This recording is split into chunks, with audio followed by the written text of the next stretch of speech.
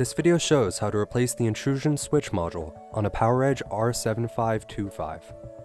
To begin, power off the system and disconnect all the attached peripherals. Please note, always use ESD protection when working inside the system.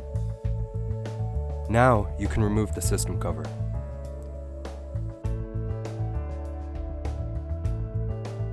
To access the intrusion switch module, you need to first remove the expansion card riser.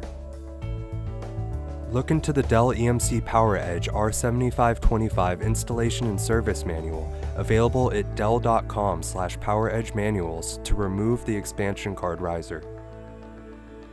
Disconnect the intrusion switch cable from the connector on the rear I.O. board. Using a screwdriver, loosen the screw on the intrusion switch module. Now you can lift the module out of the slot on the system. You have now removed the intrusion switch module out of the system. To install the replacement module, you need to slide the module into the slot on the system.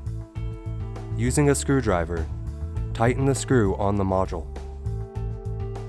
You can now connect the intrusion switch cable to the connector on the rear I.O. board.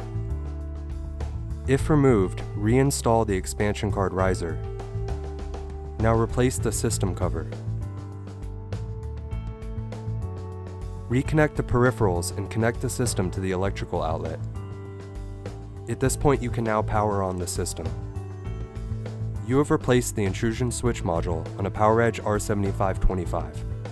If you need more information or assistance, go to dell.com slash poweredgemanuals.